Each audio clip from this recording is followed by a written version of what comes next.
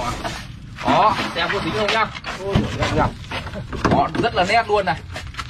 Nét luôn chứ không dính lại một chút nào và rất là dốc nhá. Đây với những bộ dạng chữ nhật như này thì đảm bảo là kẻ hoa văn nó có sâu đến mấy, sâu như silicon luôn. Thì khi tháo nó cũng sẽ dốc như này.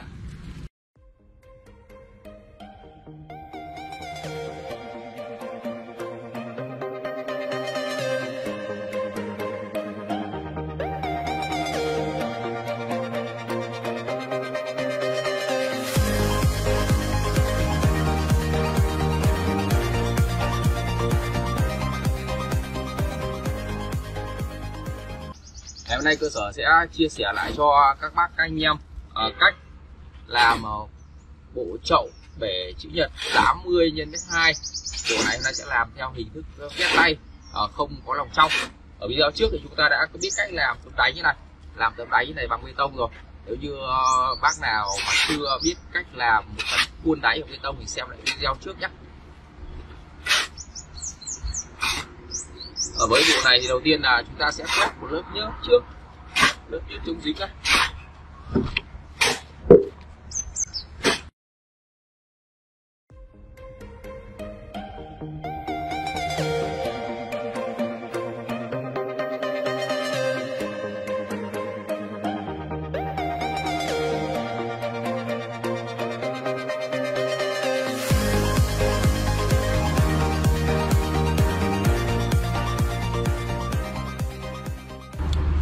Ờ, quét một lớp nhớt chống dính cho khuôn xong thì chúng ta vào một lớp hồ dầu để lấy cái độ mịn, độ láng mịn cho chậu thành phẩm sau khi đúc ra.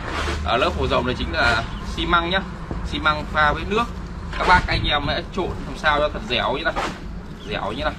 Đó, ta làm thì nó rất là đẹp.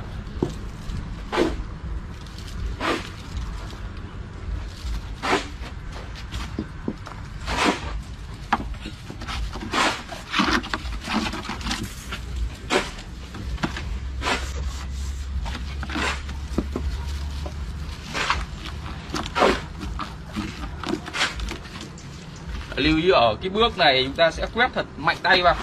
À, quét mạnh tay vào mục đích là cho cái lớp à, hồ dầu này nó sẽ kín vào hết các kẽ của hoa văn của khuôn. Thì có như vậy sau khi chúng ta tháo chậm ra thì hoa văn của chúng ta nó mới đẹp được mới sắc nét được.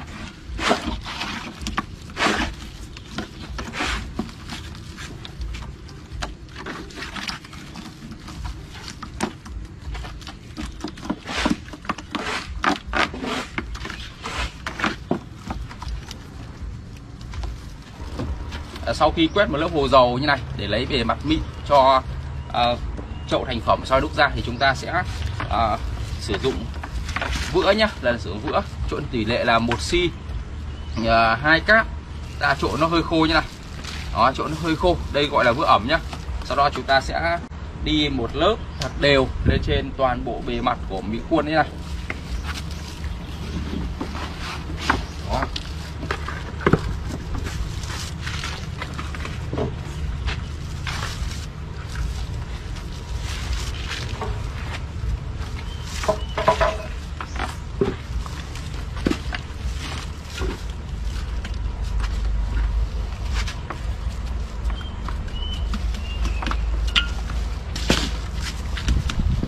Quan trọng, chúng ta sử dụng một chiếc búa cao su. Sử dụng búa su để ta gõ gõ ép chặt phần vữa này vào trong khuôn.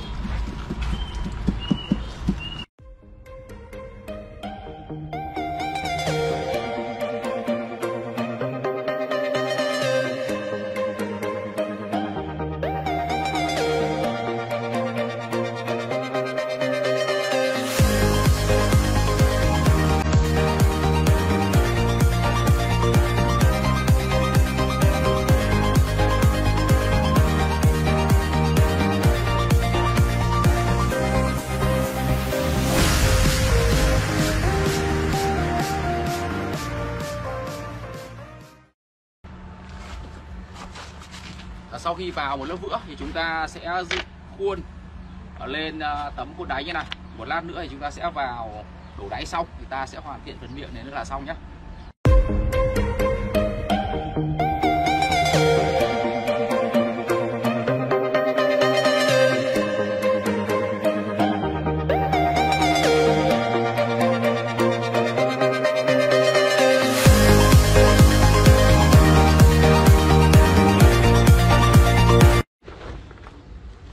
sau khi lắp khuôn ờ, của ngoài và khuôn đáy thì chúng ta sẽ kê lót lớp vỏ bao hoặc là giấy xuống đáy này. Mục đích là ờ, sau này sẽ đổ bê tông xuống thì ờ, nó sẽ không bị dính giữa cái phần chậu và cái phần khuôn đáy bê tông. Ở tiếp theo chúng ta sẽ đổ một lớp bê tông dày khoảng 4 cm xuống đáy này để làm đáy của chậu nhé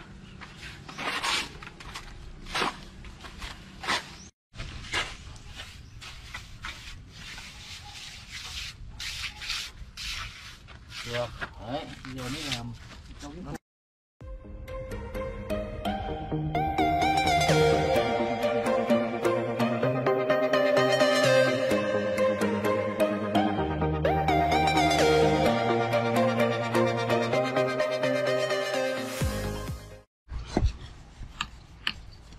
phần trên miệng chúng ta sẽ đi sắt như này nhá. Đi bốn cây sát xung quanh. Và các góc này chúng ta sẽ sử dụng một cây ngắn ta bẻ gập 90 độ này. Ta ke góc này, cho nó chịu lực tốt hơn này.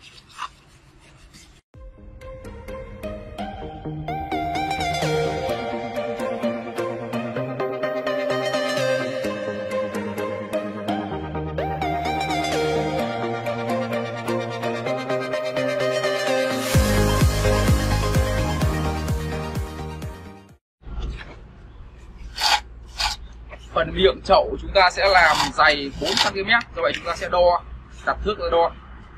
Đấy 4 cm ta đặt thước thẳng vào và vét vữa lên là xong. Đó, các bác phải xem này đến bước này nó rất là nhàn rồi.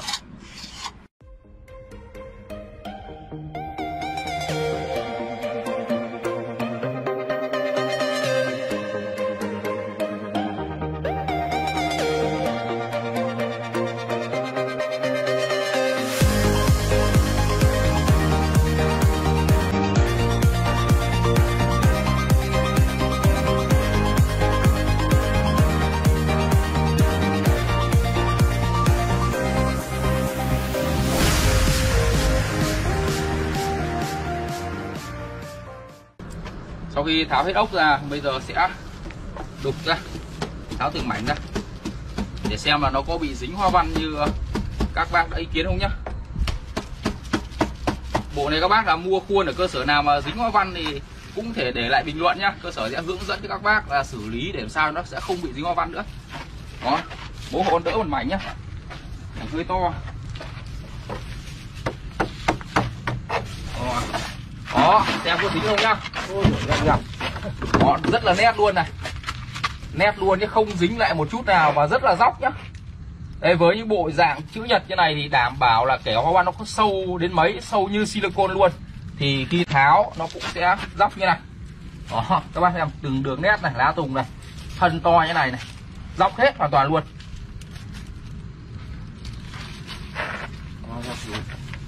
Đó rồi đến mảnh tiếp theo này mảnh dài nhất, khó nhất thì đã ra rồi. Những mảnh này rồi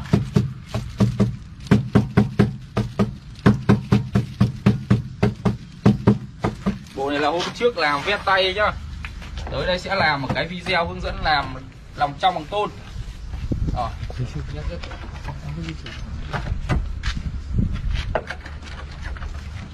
Đây nó chưa có. Đấy. Rồi, ok. Rồi, mảnh cúc nét căng luôn nhá. Đó. Đường mơ viên này, bé tí luôn. Đó. Đó, nét chưa? Tấm đáy bê tông nhá. Tí cẩu vào đây luôn.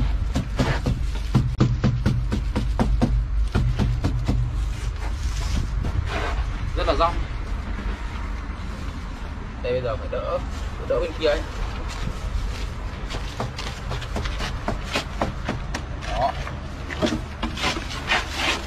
Quá dốc luôn. Đây có những cái vết mà đen đen nhìn như rỗ nhưng thực đây là nhớt nhá nhớt thải này nó đen này. Còn làm này không có rỗ gì đâu.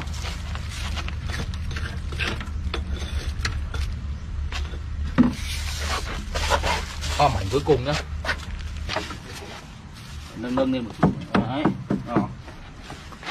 vì vì nó đè nó đè vào tấm đáy cho nên nâng lên một tí Ờ, ok bốn mảnh như nhau. Hoa văn cây trúc đây. Cực nét. Rồi, mơ vi bé tí. Đó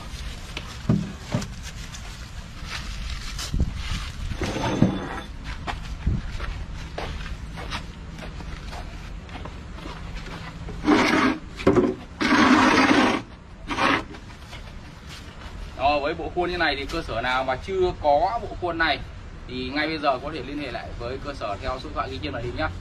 Và đặc biệt là cơ sở nào đã từng mua những dòng như này mà chưa biết cách làm tâm đáy hoặc là chưa biết cách làm làm trong thì cũng để lại bình luận, để bình luận thì cơ sở sẽ kết nối và giao lưu chia sẻ với anh em cách để chúng ta làm tiết kiệm nhất, nhanh nhất rẻ nhất và có một sản phẩm là ra là ưng ý nhất nhá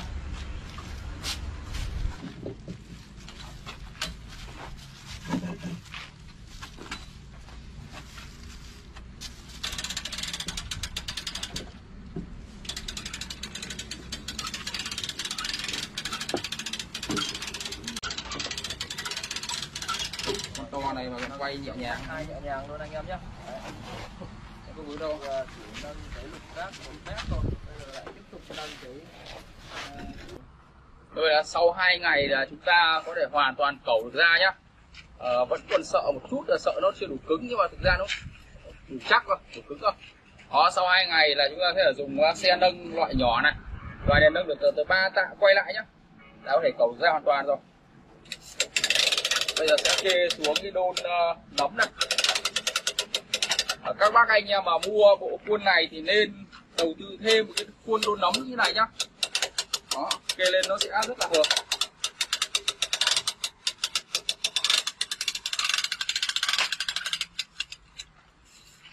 đó hết sức đơn giản đó. rất là đẹp luôn rất là cân đối. Rất là hài hòa. Bộ giá cũng rất là rẻ rất là mềm này.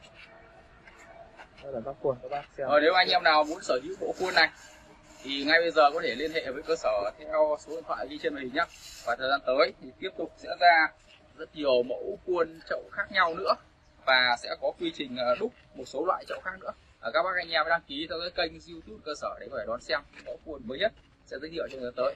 Còn bây giờ xin chào hẹn gặp lại tất cả các bác ở video tiếp theo.